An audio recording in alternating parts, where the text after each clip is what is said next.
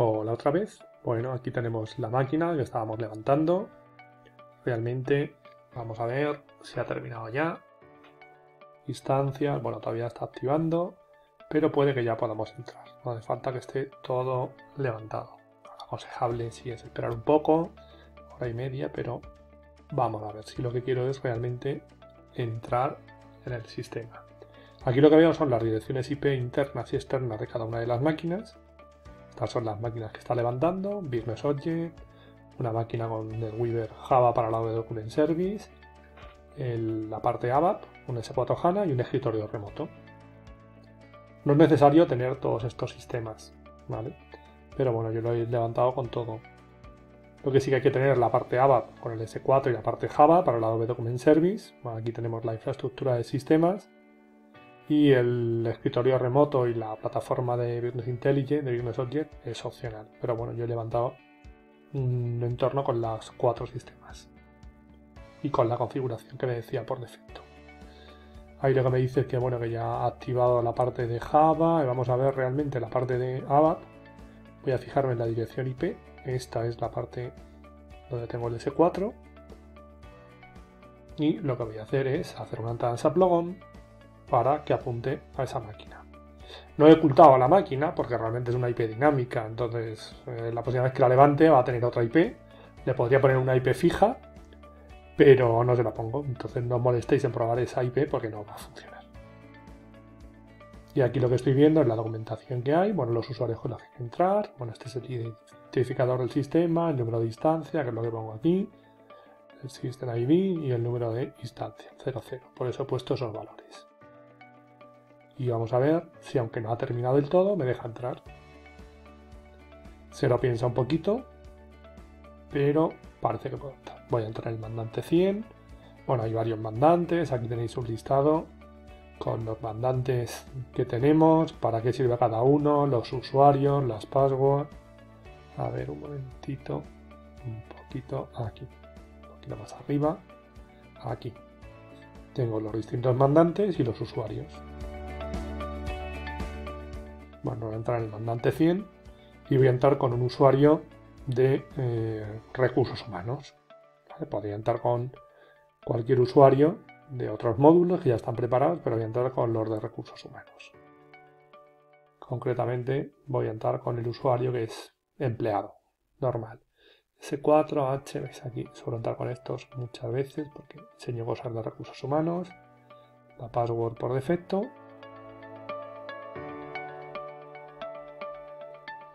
Y estaré dentro de un sistema S4. Hay gente que no ha visto nunca un S4, un S4 es como el R3, tengo las transacciones y tengo todo. Lo que es verdad es que normalmente los usuarios a un sistema S4 lo recomendable es que entren vía Fiori Lampad.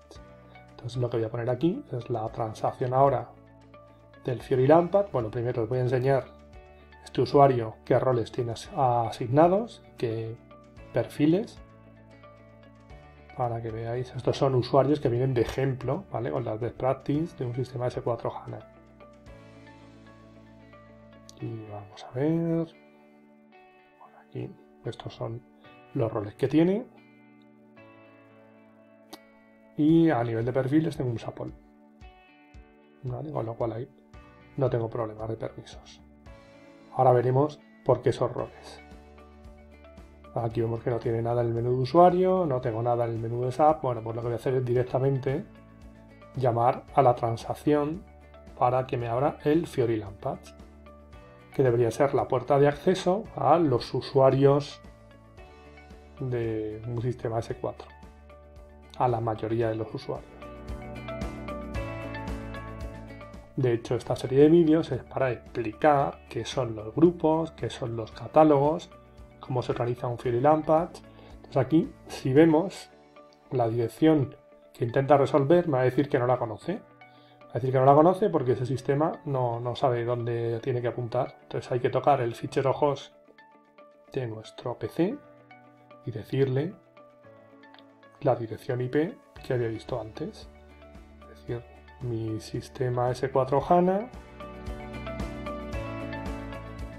esa IP, entonces le voy a decir que cuando utilice En principio aquí solo me haría falta una, pero normalmente en todos estos sistemas necesito las tres pues, por otros servicios que puedo llamar más adelante. Pero aquí con la segunda sí me valdría. Pero ahí le estoy poniendo la IP para que cuando llame a esa dirección sea capaz de resolver. Al momento que grabo esto en mi fichero host, si yo vuelvo a intentar acceder a este sistema, a esta dirección, perdón, pues ya, bueno, me dice que no, la conexión no es segura, no es privada, me fío, me fío de mí mismo. Y le digo que acceder. Y ahora sí me tiene que aparecer la pantalla, la inicio del Fiori Lampad. Accedo con el mismo usuario, la misma password, porque en esta configuración, en este sistema, tenemos frontend y backend en la misma máquina. Por lo tanto, utilizo el mismo usuario, la misma password, es un sistema donde está el frontend integrado dentro del backend.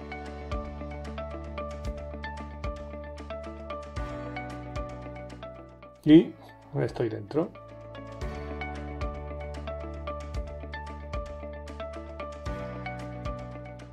Estoy dentro y lo que veo es un grupo que se llama Employee HCM. Esto es un grupo donde tengo una serie de aplicaciones, los tiles.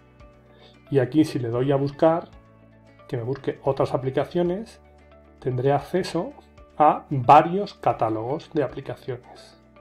Tengo acceso a un grupo de aplicaciones, o mi usuario tiene asociado un grupo de aplicaciones, más bien el rol al que está asociado un usuario, y además tiene acceso a varios catálogos de aplicaciones. Employee HCM es un grupo y todo lo que estamos viendo aquí a la izquierda son catálogos.